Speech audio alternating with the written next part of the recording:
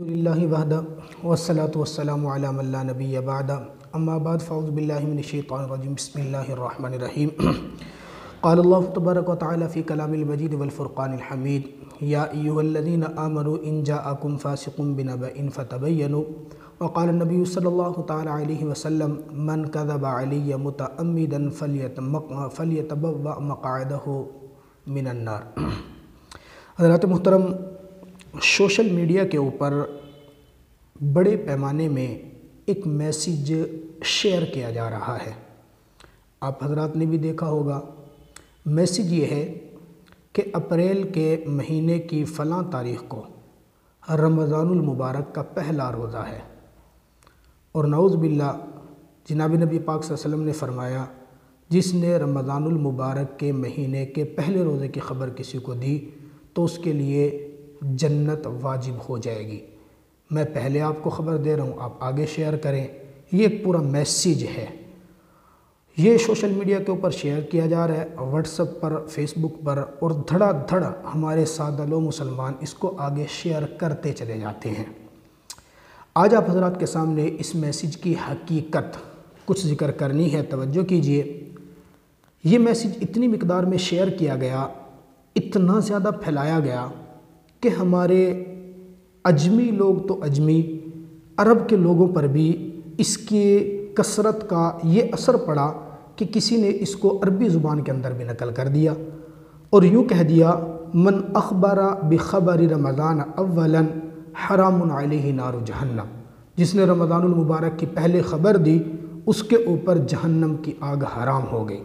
بعد میں اسی کو لوگوں نے نعوذ باللہ رسول اللہ صلی اللہ علیہ وسلم کی طرف منسوب کر دیا اور حدیث مبارکہ بنا کے پیش کرنے لگے۔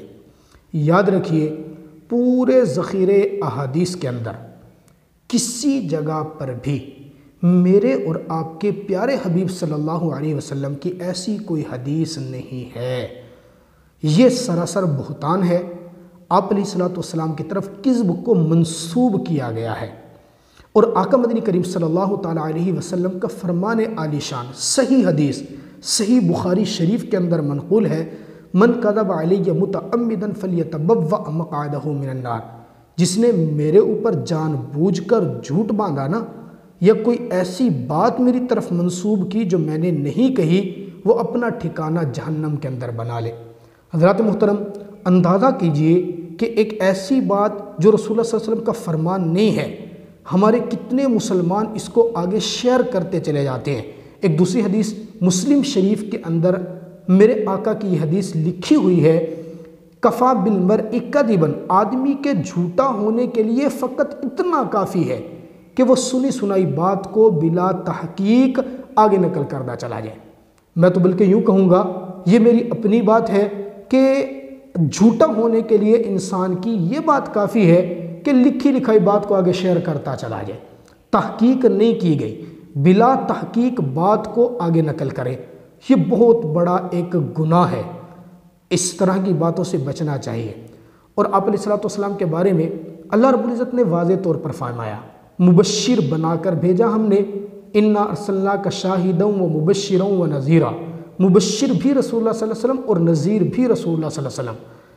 اللہ رب العزت کے حکم سے میرے آقا کو جس عمل کے بارے میں بتایا گیا کہ اگر کسی نے فلاں عمل کیا تو وہ جنت میں جائے گا، فلاں اگر عمل بد عملی کی تو وہ جہنم میں جائے گا۔ یہ مبشر اور نذیر آپ کے اور میرے پیارے حبیب صلی اللہ علیہ وسلم ہے آپ علیہ الصلوۃ والسلام کے دنیا سے چلے جانے کے بعد ہم وہ احادیث مبارکہ تو دوسروں کو سنا سکتے ہیں، لیکن اب کوئی بندہ یہ نہیں کہہ سکتا کہ میں فلاں کو یہ کہتا ہوں کہ وہ جنت میں جائے گا۔ یا میں فلاں کو یہ کہوں کہ وہ جہنم میں جائے گا، ایسا کوئی نہیں کر سکتا۔ لہذا وہ میسیجز جو آج کل واٹس اپ پر فیس بک پر چل رہے ہیں، پہلے یہ ایک فوڈ اسٹیٹ والوں کی طرف سے نظام ہوتا تھا، آج کل واٹس اپ کے اوپر یہ میسیج چل پڑا کہ اس میسیج کو فلاں نے یہ ایک خواب دیکھا اور خواب دیکھنے کے بعد یہ یہ فلاں فلاں پتہ نہیں کیا بات تفصیل ہوتی ہے۔ کہ اس میسج کو بیس گروپوں کے اندر شیئر کرو تو آپ جنتی بن جاؤ گے۔ بیس گروپوں میں شیئر کرو گے تو آپ کو اولاد مل جائے گی۔ بیس گروپوں کے اندر شیئر کرو گے تو یہ اس طرح کی بات کسی بھی حدیث کے اندر نہیں آئی ہے۔ اس طرح کی بات کو کوئی بھی شخص اگر بغیر کسی تحقیق کے آگے نقل کرتا ہے، میرے دوستو، حدیث رسول اللہ صلی اللہ علیہ وسلم کے ذریعے سے، حدیث رسول اللہ صلی اللہ علیہ وسلم سے بات ثابت ہے کہ ایسا شخص اپنا ٹھکانہ جہنم کے اندر بنا لے۔ اس لیے گزارش یہ ہے، بغیر کسی تحقیق کے، بغیر کسی تحقیق کے کوئی بات آگے نقل نہ کرے۔ اسی طرح فیس بک پر، واٹس اپ پر کوئی بھی اچھی بات ہوتی ہے، وہ حضرت علی رضی اللہ تعالیٰ عنہ کی طرف منسوب کر دیتے ہیں، یہ قول علی ہے۔ یا کوئی اچھی بات جناب بکر صدیق رضی اللہ تعالیٰ عنہ کا فرمان، یا حضرت عمر فاروق رضی اللہ تعالیٰ عنہ کا فرمان، یاد رکھیے، اگر وہ قول ان کا ہے اور آپ کو تحقیق سے معلوم ہے، تب تو آپ وہ پھیلائیں، ٹھیک ہے۔